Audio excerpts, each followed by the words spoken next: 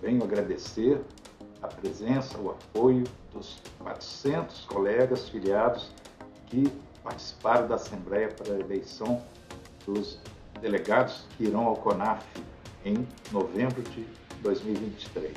Foi muito importante esse apoio, porque fizemos de tudo.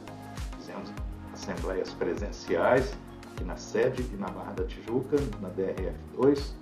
Fizemos também assembleia telepresencial. Deu muito trabalho, porque era uma coisa nova para a gente, o que se chama assembleia híbrida. Mas, graças a Deus, conseguimos atingir o objetivo. Muito obrigado a todos.